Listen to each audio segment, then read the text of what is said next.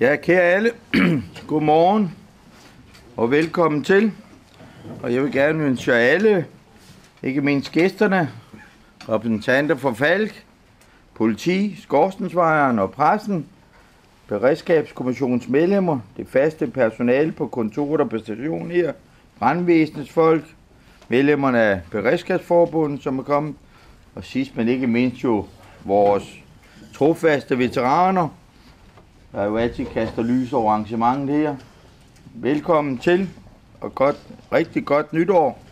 Og så vil jeg sige jer tak for jeres indsats for det kommunale beredskab i 2014, og i øvrigt tak for jeres konstruktive og positive indstilling til det kommunale beredskab. Og så lidt om, hvad der er sket i årets løb. I det forløbende år flyttede jo hjælpemildepotet til nabobygningen. Starten på det var, har været fremragende, og medarbejderne hjælper til på kryds og tværs i afdelingerne, og det er netop den synergi, der var ønsket. Åbningen af en servicebutik på depotet i samarbejde med Social- og Sundhedsforvaltningen er også et tiltag, der er en succes. En terapeut modtager borgerne på stedet, og sammen med hjælpemiddeldepotet kan der bevilges og udleveres hjælpemidler i en arbejdsgang. Det er et tiltag til læge for alle, både borgere og medarbejdere. Så rigtig hjerteligt tillykke med den fornem start. Så lidt om højderegning. Vi øh, har stadig gang i udbygningen af vores højderegning. I 2014 blev der uddannet yderligere ansatte i højderegning, og desuden har vi deltaget i øvelser på en større koncerns kæmpelager, og I kender den jo alle sammen, det er Jysk i Uldum i Henste Kommune. Vi dækker fremover ud over vores egen kommune, også Bilund, Hedensted og Vejle kommuner. Og så lidt om deltidsbrandmændene og stationerne. Det er jo mere end nogensinde tydeligt, at deltidsbegrebet er under pres. I 2014 har vi sagt farvel til ansatte, men vi har også sagt goddag til nogle. I 14 er der således tale om fem nyansættelser, jeg vil sige velkommen til Anne-Katrine, til Peter, Martin, Brian og Britt. Vedrørende trin 1, brandvæsenets folk, ja overordnet set er der en rigtig god stemning i brandstyrken, og et godt samarbejde mellem de to brandstationer under fællesøvelser på skadestederne. Opgaven løses professionelt og med rigtig stor kompetence. Lidt om beredskabet ved stationen i Øst. Ja, jeg vil da lige sige til at starte med, at Claus og jeg var til nytårsparole på faststationen den 31. 12. Og det var jo det var lidt mærkeligt at være derude med en hel masse fantastisk dygtige ambulancefolk, og så vide, at de ikke var det ved næste nytårsparole, fordi det er overgået til nogen anden. Men øh, det var en rigtig god parole derude, og derude måtte vi også konstatere, at det har været et travlt år i Ejby. Der er både brug for stationen i forbindelse med brand, miljø og redningsindsatser. Der har været flere brænde i huse, som samtidig også var med stråtag. Et besværligt arbejde og kompliceret arbejde har det været. Senest øh, havde de i Brænderup en, en brand, som tog flere dage at få slukket helt. Huset lå desuden på en grund med besværlige adgangsveje, som udfordrede brandvæsenet i indtasten. Og man skal selvfølgelig stadig være meget opmærksom på vores gøren og lagen på indsatsdagen. Ikke kun for at sikre sporbevaring til politiet, tekniske efterfølgende, efter, efterfølgende undersøgelser, øh, der sker efterfølgende. Lige netop den 31. i 12. da vi sagde på stationen derude, der indløb, kom der en alarm, og det var en brand på Østerhovvej, to i Middelfart, og der kan man se, at der har været masser af undersøgelser sidenhen, kan jeg se, med masser af vogne deroppe, og det gælder virkelig om, at man er meget påpasselig, når man stukker en brand i dag, når der skal foretages undersøgelser af politiet sidenhen. Men sandelig skal brandmændene også passe på deres helbred. Der er kommet mere og mere fokus på det. Kraft er en risiko i brandmandserhvervet, og det skal vi være meget, meget opmærksom på og også have fokus på i de kommende år. Vedrørende beredskabet her ved Station Vest, der er det det samme billede med indsats og ikke mindst med uheld på motorvejen. Det var en rigtig god historie, at vi her i slutningen af 2014 fik indvidet vores sekssporede motorvej fra Middelfart til Nåby. Og det har jo heldigvis bevirket, at der har været en betragtelig nedgang i antallet af ulykker, efter udbygningen er afsluttet. Og det bliver nu spændende at se, om udbygningen fortsætter de kommende år, fordi at, øh, der er jo stadigvæk mange ulykker, som mellem Ejby og over på det ude og nu må vi kæmpe en brav kamp for, at vi får den sekssporede motorvej helt ind til Odense, inden at det nye supersyge bliver indvidet i 2022. Men der skal kæmpes i de kommende måneder. For nogle måneder siden var der en indsats ved en husbrand i Nørreby. Huset var ubeboet og brændte ned til grunden, og branden i år har i flere tilfælde været større, og det har betydet, at station Vest og station Øst ved flere lejligheder har arbejdet rigtig godt sammen. I forbindelse med effektiviseringer har station Vest solgt en automobilsprøjte og en tankvogn. I stedet opbygget et helt nyt koncept bestående af en udrykningsenhed, der er opbygget med overholdelse af alle arbejdsmiljømæssige tiltag. Der er gennemført nytænkende løsninger og stiftigende unævnte bilen til at være en svejterkniv. Et udtryk, som jeg synes er fuldt dækkende i de kommende år, for vi så se, om ideen var rigtig. Interessen fra andre brandvæsener i landet har været overvældende, og der har været fremvisning af kørekøretøj til rigtig mange interesserede beredskabschefer og beredskabskommissioner, samt også en fremvisning over for det statslige redningsberedskab. Så har vi det forløbende år haft et 10-årstegn og et 20-årstegn. Jeg vil gerne se Søren Viver og, og, og Ole heroppe. Kan I gå med op?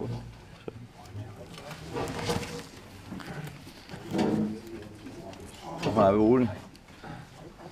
Stil dig lige her foran, fordi så kan fjernsynet jo også se jer. Har du set det nu her? Først lige lidt til Søren. Det er faktisk øh, noget forsinket, at diplom på de 10 års jubilæum kommer her. Tiden før fra Brandvæsen, den var ikke regnet med. Men bedre, at vi får gjort det nu, end helt glemmer det, Søren. Det var det. Søren er en af de personer, som i perioder desværre ikke har job i Milfart i dagtimerne.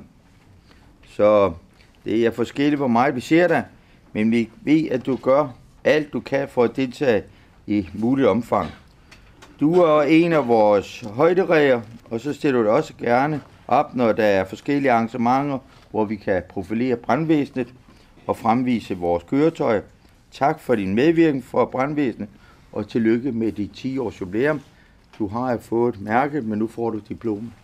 Tillykke. Skal vi ikke give sådan en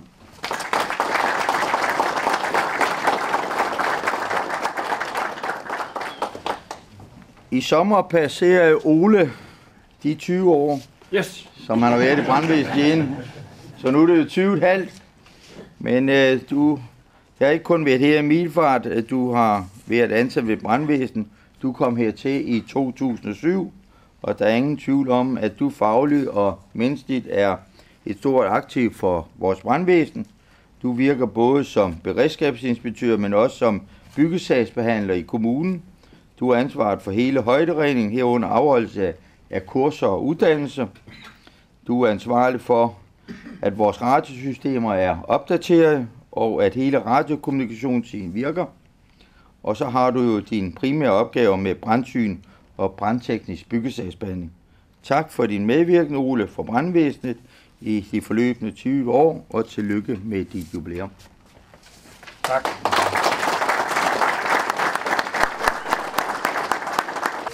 Ja, 2014 blev jo året, hvor KL og regeringen indgik aftale om fremtidens redningsberedskab. En effektivisering over to år med en økonomisk effektivisering på ikke under 200 millioner kroner. Dertil også, at antallet af redningsberedskaber skal bringes ned fra de nuværende 87 redningsberedskaber i landets 98 kommuner, så skal de bringes ned til 20 i fremtiden. Og finansministeren har sagt, at det er hverken 21 eller 22. Det er maksimalt 20 redningsberedskaber, der skal være i landets 98 kommuner fra 1. januar 2016. At så er strukturvalget efterfølgende kom med sin betænkning, viste sig at være lidt forpasset i vores lokale arbejde, fordi Bilund og Middelfart, Fredericia, Vejle og Kolding kommuner undersøgt muligt, om ikke det var en god idé at lægge beredskaberne sammen til et stort og fremtidssikret fælleskommunalt brandvæsen. Og så her i foråret 2014, så meldte Vejen Kommune også sin deltagelse. Og i de sidste par uger har Beredskabskommissionen og Økonomiudvalg og byråd så tilsluttet sig det, der kaldes en forlovelse, og det blev behandlet i Middelfart Kommune her i mandags. Og hvad er så hensigt med det? Ja, kort kan man sige, at formål med, et, formål med at slutte sig sammen, det er at etablere et effektivt og omkostningsbevidst beredskab i forhold til de samlede omkostninger på nuværende tidspunkt. Der foretages risikobaseret dimensionering, og der udarbejdes en forretningsplan i forbindelse med selskabets dannelse. En forretningsplan, der tager udgangspunkt for fastsættelse af det fælles serviceniveau i alle seks kommuner. Denne plan skal så godkendes sidenhen i de seks kommuners byråd. Her i 2015 skal de seks øh, kommuners redningsberedskab have en direktør ansat, som skal lede processen hen mod etablering af selskabet den 1. januar 2016. Selskabet bliver et såkaldt paragraf 60 selskab og bliver kaldt trekantområdets brandvæsen. Et navn, som peger mod det unikke i trekantområdet med samarbejde hen over kommunegrænser, men også har det borgernære signal i og med, at det er vores brandvæsen. Så vi vil så følge her i de næste par måneder, 12 måneder, følge den her proces meget nøje. Og jeg ved ikke, om det er et historisk øjeblik, men det er i hvert fald helt sikkert, at det er det sidste nytårsparole Milfart Kommunal Brandvæsen. Jeg håber så, at vi kan holde nytårsparole her næste år igen, men det ved man jo aldrig, om det er nytårsparole med alle folk på en station, eller man holder nytårsparole rundt om på de forskellige stationer. Det må jo tiden vise på et senere tidspunkt. Men vi må heller ikke glemme, at år 2014 blev præget af et udbud på ambulanceområdet. Der blev valgt en ny operatør, og det betyder, at fremtiden tegner sig helt anderledes for de ansatte i ambulancetjenesten. Det er mit håb og ønske, at det gode samarbejde fortsætter på begge stationer i fremtiden. Vi forstår i hvert fald, hvilken, hvilken stor, stor omvæltning det må være for alle dem, der har været ansat i Falk i mange år og kørt ambulancetjeneste. Og nu må vi jo så se, om vi kan fortsætte det tætte samarbejde, vi har haft med ambulancetjenesten, og om operatøren, den nye operatør ønsker at gøre brug af vores garage her på stationen. Det bliver spændende at følge med i de kommende måneder. Det bliver i hvert fald ved det, som har været vores profil i rigtig mange år, at vi har haft et meget stærkt beredskab, for vi har brandvæsen og ambulance på samme station, meget tæt ved, by, ved bynær. ja, jeg kunne jo ikke andet lade være med her, da jeg sådan rydde op på mit, på mit kontor den anden dag, så kommer der jo mange mærkelige bøger frem, når man skal rydde op over bagved, det står i sådan to regler, og det skulle flyttes, for flytmændene kom fredag morgen og flyttede mit kontor. Og jeg gik hjem fredag eftermiddag, det var flytkasserne ikke kom frem til mit nyt kontor nu, så jeg ved ikke, hvor det er. Men øh, det er jo nok et eller andet sted, de kommer nok frem til mandag morgen. Men så faldt, faldt jeg over to bøger. Milfart kommunale brandvæsen gennem tre kvart århundrede, og så beskrivelsen af de sidste 25 år her. Og så ved I godt, når man får sådan nogle bøger i fingrene, så begynder man jo at, sådan at blage i dem. Og, og så er jeg først bladet i den her bog fra 1976, skrevet af Kai Kjeldberg mod Møller. Så kunne jeg jo ikke andet se, hvad der jæges op på nogle af de første siger. Initiativtageren til korpsets oprettelse var malermester G.A. Svaner, der i mange år var brandinspektør for det frivillige korps. Det lykkedes Svaner efter flere års ihærdigt arbejde at interessere byrådet, der gav grøn lys for planen den 19. april 1901. Det faste korps på fem mand skulle indøves i brugen af de nye apparater, så de straks kunne mødes ved en ildløs. Lønnen blev fastsat til 20 kroner årligt, for uden timebetaling i ildebrændstilfælde. Og den 24. samme måned forelå forbrændingsbetøren ønsket om en slangevogn til 90 kroner og anskaffelsen i alt 400 alen hørslange til 880 kroner samt alarmeringsapparat til korpsets enkelte medlemmer.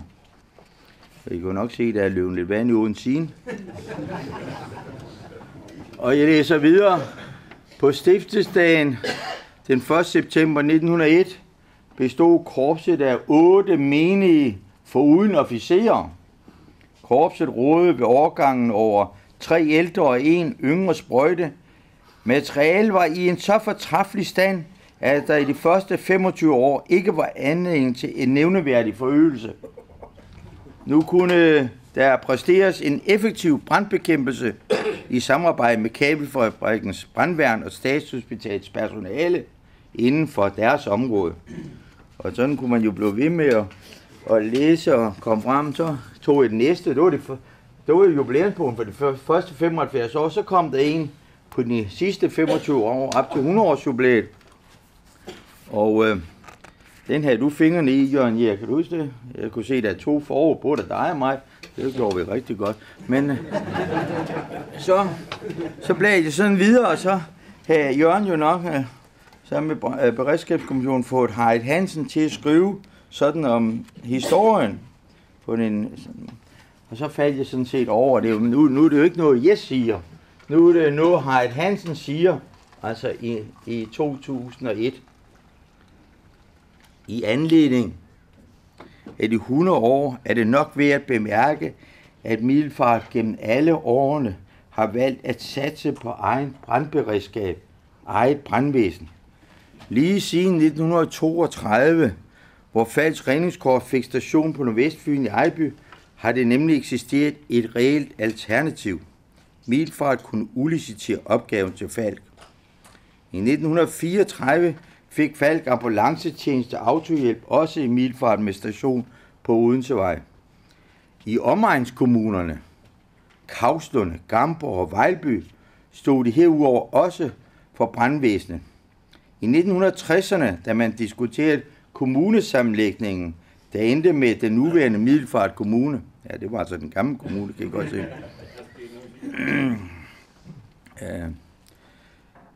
blev resultatet, at Milfort Brandkorps skulle stå for brandberedskabet i hele den nye storkommune. Havde man valgt anderledes, ville der være faldt der fået opgaven. Forklaringen er i høj grad den tilfredshed, der er og altid har været med Milfort Brandkorps. For Milfort Byrå har det aldrig været den mindste vaklen. Milfort Brandvæsen har fine stilletider og en fantastisk korpsånd. Der er en indbyrdes kappestrid, der gør, at det altid gælder om at komme først og klare jobbet bedst muligt. Det sikrer et særdeles professionelt og dygtigt mandskab, der sætter en ære i at være blandt de bedste. Lidt politikerovervejelse har der vel også været med. Man har tænkt, har vi først opgivet vores egen brandvæsen, er der ingen vej tilbage. Eller skrækvisionen, Faldet kunne øh, måske bygge en storstation i Ejby og servicere mil fra derfra. Med eget brandvæsen har vi dog selv hånd i hanke med udviklingen. Samtidig er brandkors jo udgået af byen. Var man ikke selv brandmand, kendte man sandsynligvis en. Ens far eller bror havde været det. Mange byrådsfolk har haft brandkorpset ganske tæt på livet. Det betyder også noget. Og som tidligere borgmester Herman Jensen selv engang medlem af korset formulerede det, hvorfor ændre noget, der fungerer godt? Derfor har for også altid givet sit brandvæsen rimelige vilkår med anskabelse af det materiel, der til enhver tid har været niveauet. Byen har honoreret de uddannelsesmæssige krav, udviklingen har stillet, Milfors har i grunden det beredskab, byen fortjener, og det er vel ikke så galt. Skal vi ikke give Harry et, et klap for de gode her?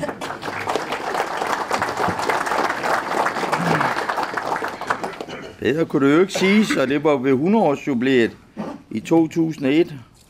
Og så når man bladrer det her, så kommer historien frem. Og så kan jeg se, at brandkommissionen fra 1. april 78 til 31. december 1981 havde en ung og smuk kvinde, der hed Hanne Lauritsen. Hanne, nu er du kun smuk. og det er jo rigtig mange år. Jeg kom jo først ind i otte år senere, så han hun har jo en ancienitet uden lige.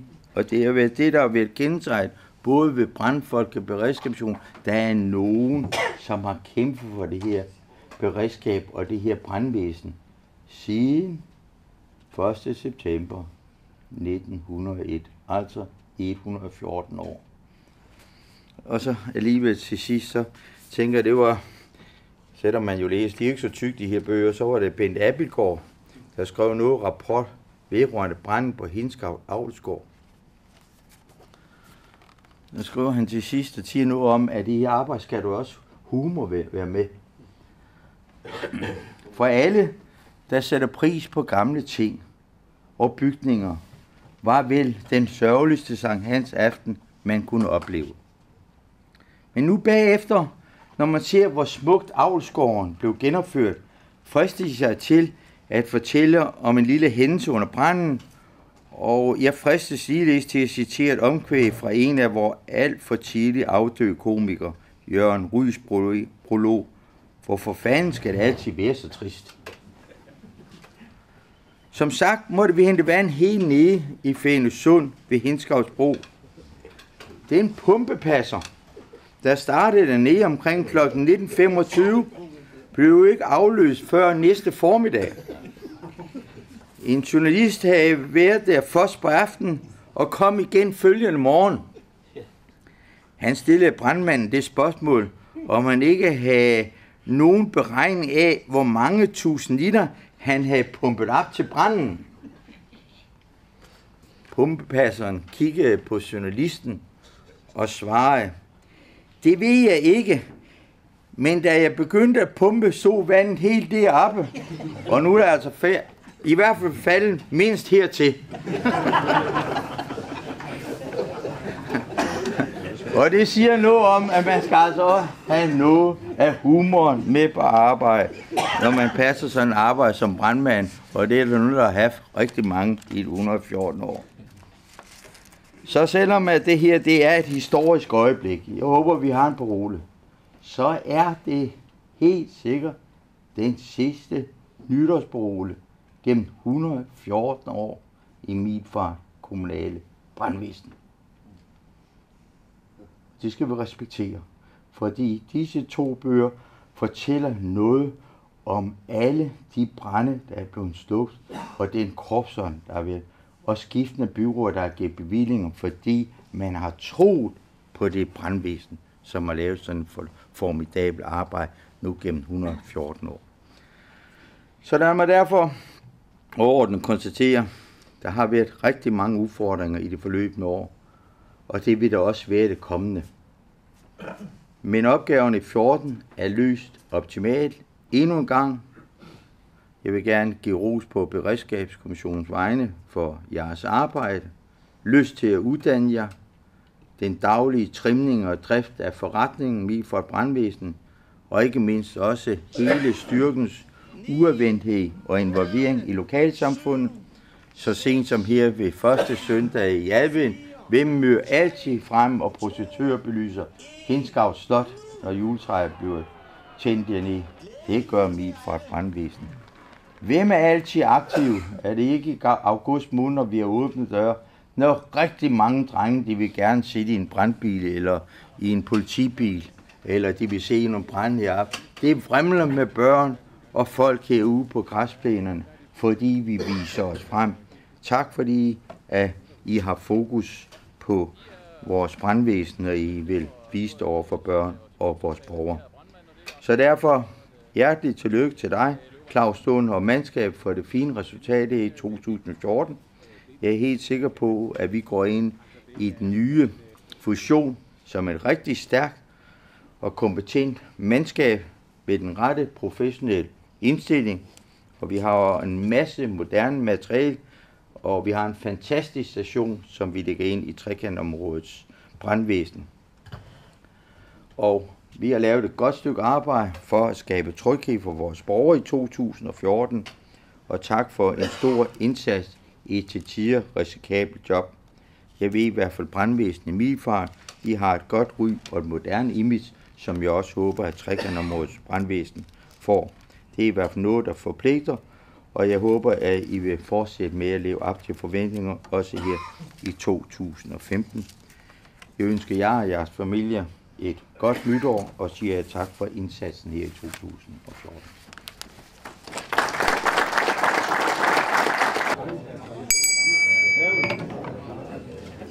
Ja, mens der lige bliver delt lidt drikkevarer rundt, så kan jeg vel egentlig godt lægge lidt baggrundsstøj til det. Øhm, kære borgmester, medlemmer af Beredskabskommissionen, kommunaldirektør, teknisk direktør, heltidsansatte, deltidsansatte brandmænd i Vest, deltidsansatte brandmænd i Øst, medarbejdere på hjælpemiddeldepotet, flexjobansatte, chefpolitiinspektør, ambulancepersonale og tillidsrepræsentanten fra Falk, repræsentanter fra Beredskabsforbundet, repræsentant for skorstensfejermesterne, veteraner, pressen og andre tilstedeværende. Jeg bemærkede, at borgmesteren i sin øh, beretning talte om, at øh, det er godt at have humor med. Og vi står midt i, øh, i en spændende tid, så tænkte jeg, at jeg kunne jo godt lave en beretning for 2014, der startede med at kigge fremad, der taler om, at for at være med i det nye brandvæsen, skal vi spænde hjelmen og komme med. For at spænde hjelmen skal man huske at have den med hjem fra Interstedet, Ole. Vi skal sørge for at komme ud øh, og igennem porten til fremtiden. Men Heinrich, porten skal være helt op, inden vi kører ud. Og øh, hvis vi skal sørge for at score mål i det nye brandvæsen, kan man selvfølgelig også score mål ved at skyde bolden stolpen ind. Det gælder ikke vores udrykningskøretøjer, Søren. Og øh, når man øh, skal score målet, kan man også score så hårdt og køre så hårdt til, at netmaskerne de blaffer. Øh, det er ikke bagvæggen, der skal blafre sten, ved at man bakker ind i den.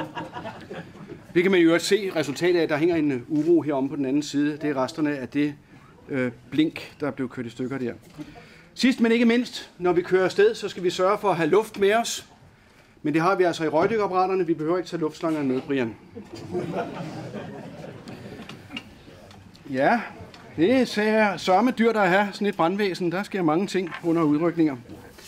I 2014 fik vi vores nye udrykningsenhed A1.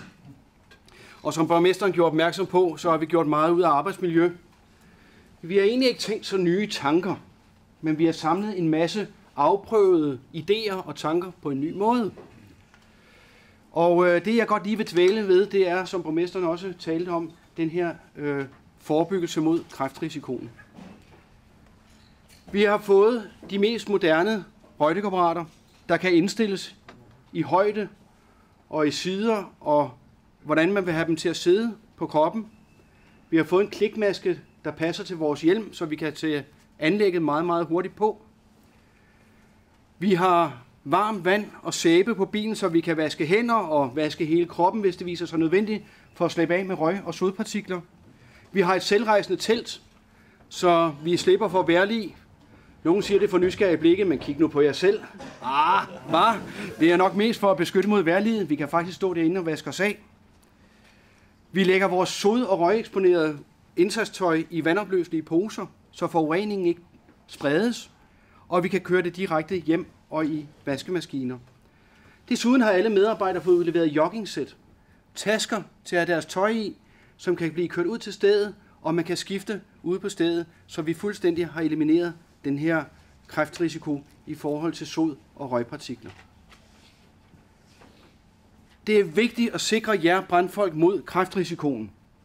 Og det er vigtigere end alt andet, for vi skal sørge for, at I ikke sidder om 20 år og skal betale prisen for at være med til at vælge, hjælpe vores borgere, og I betaler den med jeres eget liv.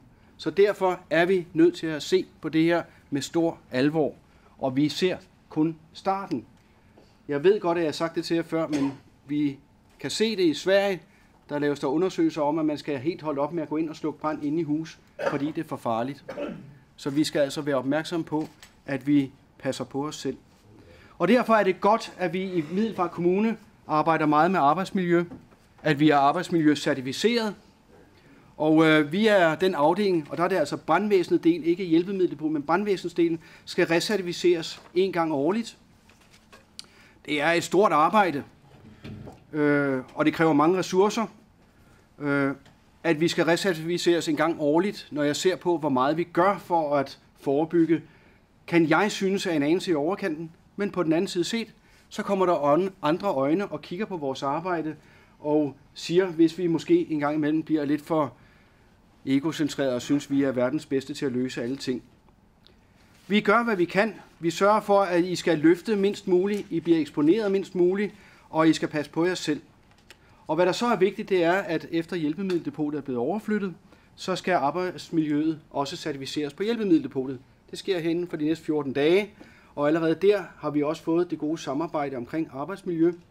Vi har da blandt andet fået lavet øh, vogne, der passer til vores vaskemaskiner, og med ekstra forhøjet håndtag, sådan så man ikke skal bukke sig ned, når man skulle køre med vognene bagefter.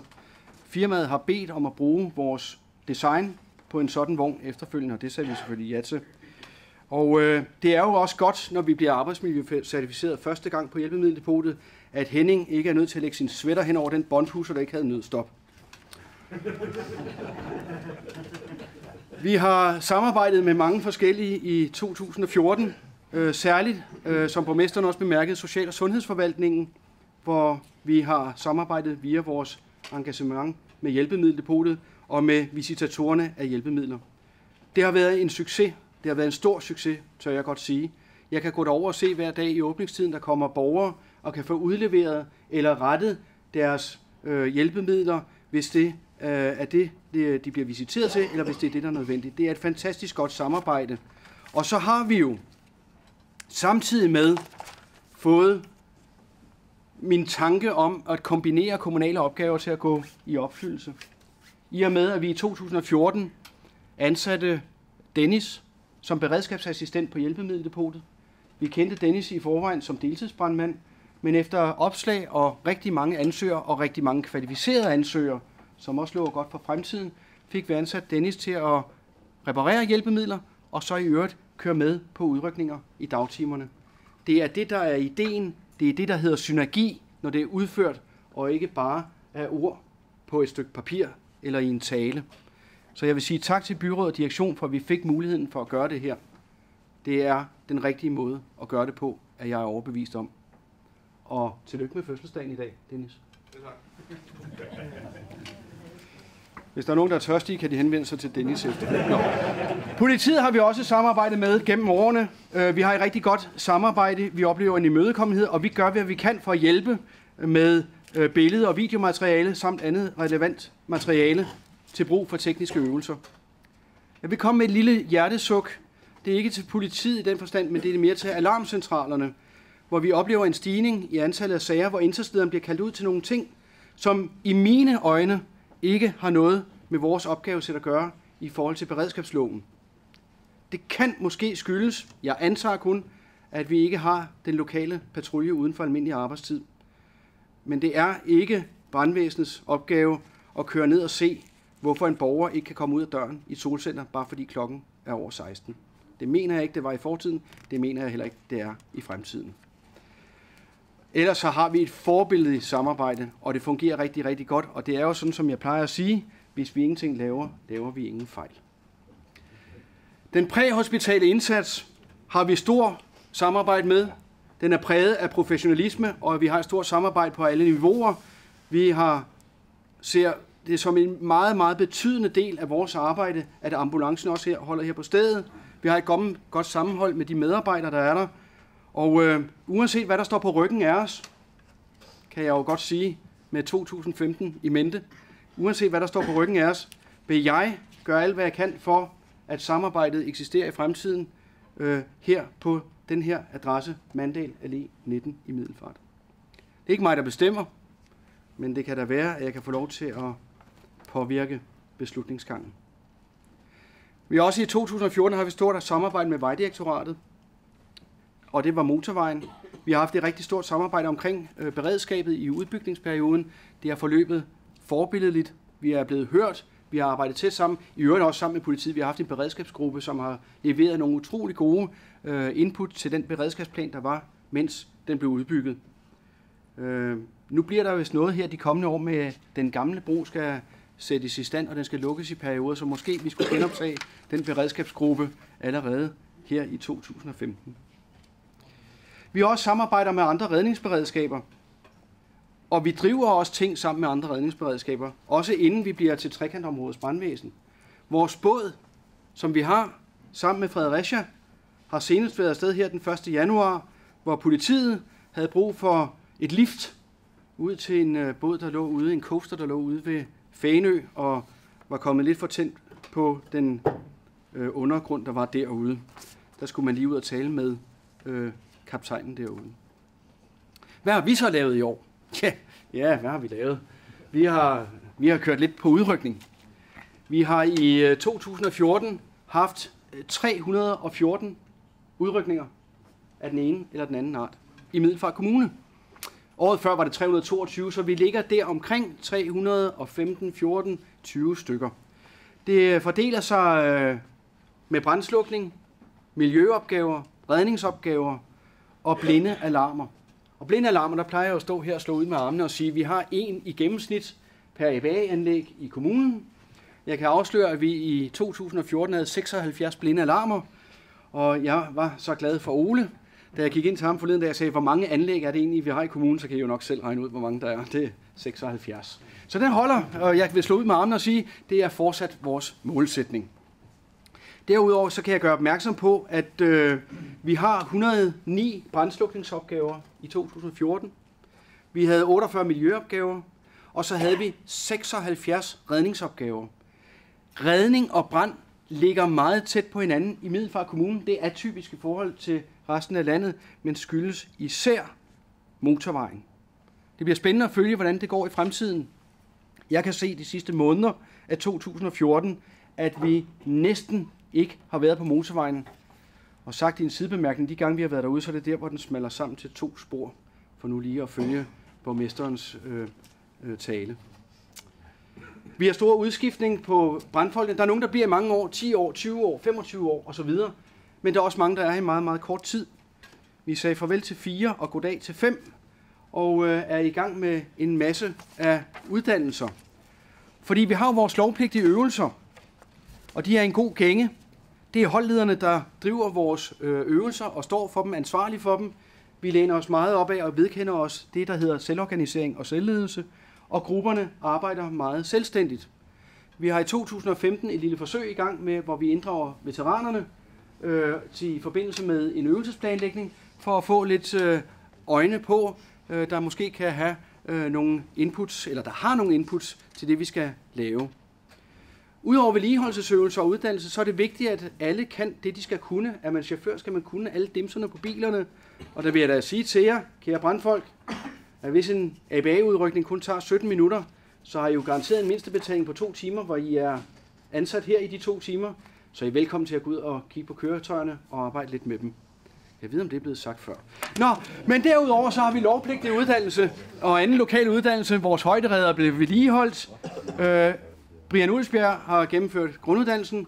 Britt og Peter sidder og tripper. De er på vej til Randers, er i gang med grunduddannelse øh, og er ikke helt færdig. Steffen er her ikke i dag. Han er på funktionsuddannelse. Og i næste weekend kører vi uddannelse for ni medarbejdere i det, der hedder Traume Risk Management. En form for kollegastøtte, hvor vi skal kunne hjælpe hinanden i forbindelse med meget voldsomme hændelser og oplevelser. Det er et koncept, som er lovpligtigt i England. Det bruges af politi, brandvæsen, forsvar, ambulancetjeneste, og nu tager vi altså som de første i Danmark, jeg var lige ved at sige selvfølgelig, og uddanner folk inden for det her, så vi kan bruge konceptet. Og 2014, så er der 2015 med trekantområdets brandvæsen. Jeg ved, at der er et ansættelsesudvalg, der er nedsat, der skal ansætte en ny direktør. Jeg har haft en meget, meget spændende tid de sidste to år, næsten to år. Der har jeg faktisk siddet med i arbejdsgrupper sammen med de fem andre beredskabschefer for de seks kommuner, og vi har simpelthen siddet og været i gang med at nedlægge vores egne stillinger. Det har været udfordrende, det har været spændende, men det er også interessant at se, hvad der sker i fremtiden. Og kære alle, jeg vil godt gøre jer opmærksom på de arbejdsbetingelser, som de heltidsansatte i brandvæsenet har været udsat for i snart to år. Besparelser, effektiviseringer, uvidshed om fremtiden, og samtidig, og det er det, jeg vil bede om at lægge mærke til, er alle opgaver løst med dygtighed, faglighed, engagement, humør og virkeløst. Der er ikke én eneste, der har været sur, syg eller ugidelig. Det tager jeg altså hatten af for. Og har stor respekt for jer, kære medarbejdere. Og det er især Paul Jensen, Per Møller Jensen, Lasse Thornfeldt Sørensen, Sten Richard Hansen og Svend Erik Buk. Ingen af jer aner, om I har job i fremtiden, og I alligevel har I ydet alt, hvad I kunne, og lidt til i 2014. Det skal I have utrolig meget tak for. Alle i beredskabsafdelingen, heltidsansatte, deltidsansatte, flexjobber i virksomhedspraktik, hjælpemiddeldepot, hvor I end er, I er lojale, I er engagerede og I er kompetente medarbejdere. Og det er vitalt for enhver virksomhed, at I er det. Og I har været det her i det forgangne år, I har også været det tidligere, og jeg ved, I også er det i 2015. I gør, hvad I kan, for at vi kan være der for vores borgere. Med de ord vil jeg bede om at rejse jer op. Og for sidste gang råbe et hurra for Middelfart Brandvæsen, trefoldig leve for Middelfart Brandvæsen, og derfor også samtidig råbe det samme trefoldige leve for fremtiden i trekantområdets brandvæsen. Middelfart Brandvæsen, trekantområdets brandvæsen, længe leve. Hurra! Hurra! Hurra! Tak skal I have, og godt nytår.